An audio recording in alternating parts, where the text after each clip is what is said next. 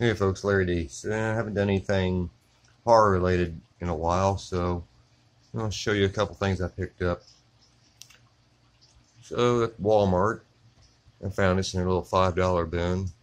Haven't seen it yet. I heard it's supposed to be pretty decent.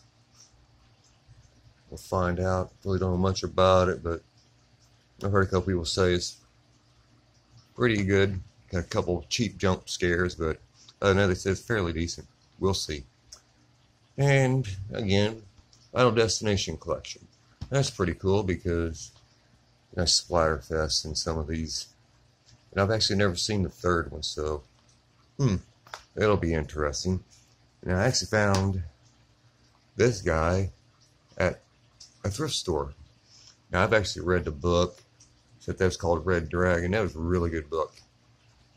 And I know I've seen the movie before, but it's been years and Never owned a copy of it. Now I do for hmm, two bucks. Not bad. This is one I've been wanting to see for a while. And it's got a stupid sticker on that. We'll be removing it. Silent Hill. I've not had a chance to ever see this and been dying to see it.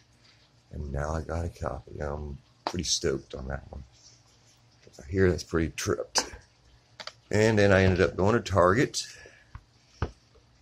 and got the Jason versus Freddy versus Jason, Doc Reed figure of the Jason at the flame, the goofy little teddy bear. I gotta watch the movie again because I have no clue about this teddy bear. Thought he's pretty cool. And last but not least, Predator from the uh, original movie. Skulls and all kinds of cool stuff in this guy. Yeah. Sorry about that glare, but you know, what are you going to do? Because I'm not opening it. that won't be happening anytime soon, if ever.